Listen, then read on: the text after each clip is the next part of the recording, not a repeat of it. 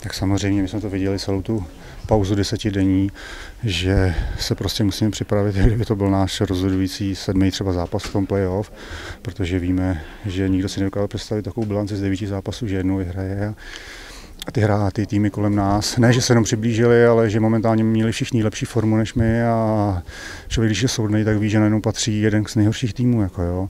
Takže ta pauza, věřím, že nám pomohla. Dneska určitě první třetinu byla vidět velká nervozita. A my můžeme poděkovat Márovi, že tam chytil dvě, tři gólové šance a že jsme šli do druhé třetiny Eh, za stavu 0-0.